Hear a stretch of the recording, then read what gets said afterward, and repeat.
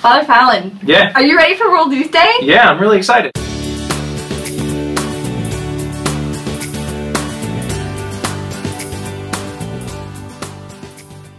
We're gonna be there with Pope Francis in Krakow.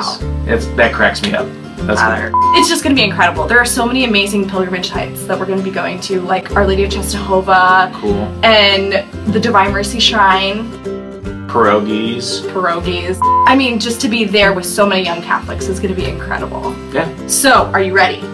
Yeah, it's like a couple weeks and everything. No, we're leaving on Sunday. That, We will be creating YouTube videos every day of our pilgrimage to Poland that we will be posting to our Facebook and Twitter. So make sure you follow us to stay up to date. And hopefully Father Fallon will be ready.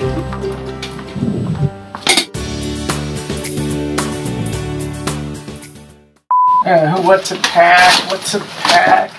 Uh, they gonna have enough pierogies for two million people?